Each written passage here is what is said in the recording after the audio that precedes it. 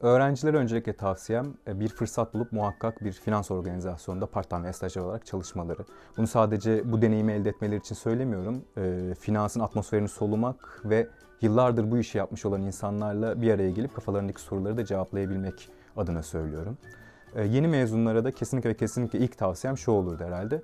Sadece finansçı olmaktan öteye gitmeleri ve bunu e, hep akıllarının bir kenarında tutmaları gerekiyor. Çünkü finans tanımı artık e, günümüz dünyasında biraz daha genişledi bence.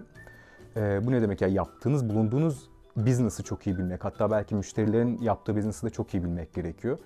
Ancak o zaman finansçı olmanın içini doldurabiliyorsunuz. Mesele sadece bir kaydın, muhasebe kaydının doğru hesaba atılması olmamalı.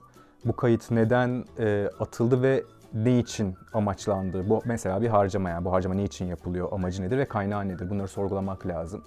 E, finans sadece rakamlardan ibaret değil kesinlikle. Her rakamın arkasında bir hikaye var. Bu hikayeyi görmeleri lazım. E, ancak o zaman gerçekten finansçı olup fark yaratıp kendilerinden bir şey katabiliyorlar.